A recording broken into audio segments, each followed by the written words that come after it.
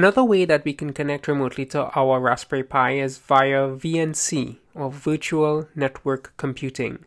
Essentially, we're going to use a VNC client to connect to our Pi and we we will be able to see the screen of our Raspberry Pi, in fact the desktop, and be able to interact with it via a visual GUI, graphical user interface. So of course the first prerequisite is to ensure that we have allowed the VNC connection to happen. So remember if we go to our preferences and to the Raspberry Pi configuration, under the interfaces, we need to click enable on VNC and that will enable the VNC server that comes installed on our Raspberry Pi and this needs to be enabled before we're able to connect remotely via VNC. So just ensure that that's checked and now we can proceed to set up our VNC client. So the client we're going to use is VNC Viewer from RealVNC.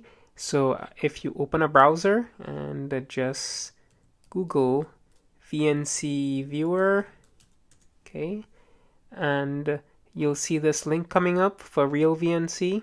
And this is the page where you can download the VNC Viewer. And uh, of course, this is a client that allows you to connect to a VNC server. So as you can see, there's an option for any type of operating system, whether you're running a Mac, Windows, Linux, uh, even on Android and so on, iOS, you can get a corresponding VNC client from RealVNC, and it works pretty well. In fact, uh, this I've used this for quite a while, and it is seamless and easy, and uh, have had no issues. So go ahead and click on download VNC viewer. I already have it installed and run through the appropriate installation process. For Windows, it's a couple of clicks. And of course for Mac, you just drag and drop it to your applications folder and you should have your VNC viewer installed.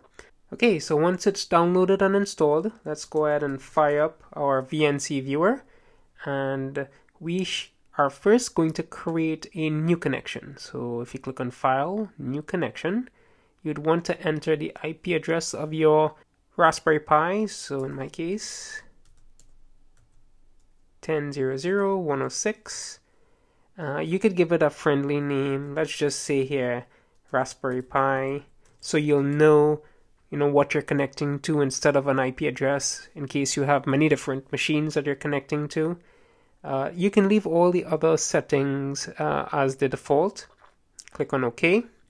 And you should see the machine here. Just go ahead and double click on the machine and uh, you will have to provide credentials. So for the username, we are going to enter pi. The password is going to be the password that you set.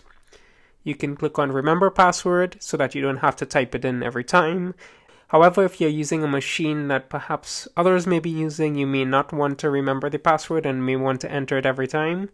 But I'm just going to click on remember password, click on OK, and there you go.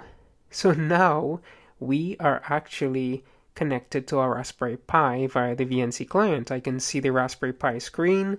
I can click on the user interface and it's as if I am physically present on my Raspberry Pi but this allows me the flexibility to use any laptop or any PC and connect remotely to my Pi. To get a more full screen viewing, uh, if you hover over the top here, you'll see these icons. So I can click on the full screen and also the resize. And as you can see now, it's taken up my entire screen. So uh, very good user experience.